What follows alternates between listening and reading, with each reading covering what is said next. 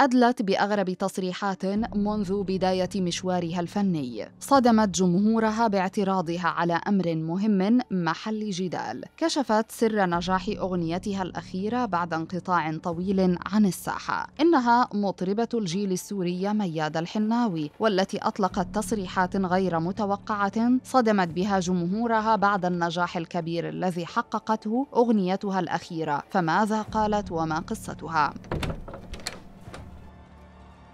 الفنانة نفت ما نسبته لها بعض المواقع الإخبارية بتلقيبها لنفسها بمطربة سوريا الأولى وقالت: أنا في حياتي ما ذكرت هذا الشيء، ومن العيب أن أقول هذا الكلام لأن الجمهور هو الذي يحكم على الفنان، ومن المستحيل أن أردد هذا الكلام، لأنه لا يتماشى مع شخصيتي فأنا لا أحب التفاخر. مياد الحناوي تؤمن بأن أعمال الفنان هي من تتحدث عنه، ومن ينجح في عمل أسس أسس متينة بالفن حتى وإن غاب يظل موجودا لأنه ترك فنا جميلا وراقيا. حاز على حب الناس وتقديرهم. أغنيتها الجديدة قالت الحناوي إنها طرحتها مؤخرا تزامنا مع أعياد الربيع من كلمات الشاعر عبد الرحمن الأبنودي وألحان الموسيقار الدكتور طلال وتوزيع يحيى الموجي. جددت بها المطربة تاريخها الممتد من الأجيال. الحناوي ترى أن سر نجاح أغنيتها كلماتها المميزة المميزة واللحن الجميل كما أنها عاشت كلمات الأغنية من قلبها خاصة وأنها من الزمن الجميل الطربي.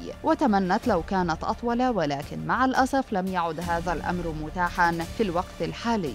أبدت الحناوي سعادتها في تعاملها مع الموسيقار طلال وقالت عنه إنه ذواق ويعرف جيدا لمن يعطي الطربيات والفصحى ولما كان عمرها ثمانية عشر عاما غنت أشواق للموسيقار السنباطي بعد أن طلبتها منه. شريط الذكريات الخاص بالحناوي مر أمامها أثناء الأغنية فهي تذكرت أشياء كثيرة خاصة بها. ترى أنه لا يمكن نسيانها مهما طال الزمن. وأقرت بأنها تحضر لحفلات في لبنان وجرش إلى جانب جولة أمريكية في شهر نوفمبر وديسمبر المقبلين. مياد الحناوي من مواليد 1900 1959 في مدينة حلب. لقبت حصلت على لقب مطربة الجيل وصنفت في الصف الأول بين المطربات العرب حيث غنت في صغرها وأعاد اكتشافها الموسيقار محمد عبد الوهاب. عندما استمع إلى صوتها في إحدى سهراته عندما استمع إلى صوتها في إحدى سهراته في مصيف بلودان بسوريا. وخلال السهرة استمع موسيقار الأجيال إلى صوت ميادة وأبدى إعجابه الشديد بصوتها الجميل وتم الاتفاق أن تزور مصر لتنطلق منها فنيا وهو ما رفضته ميادة آنذاك. للفنانة ميادة شقيقة اسمها فاتن الحناوي اشتهرت بأنها مطربة سورية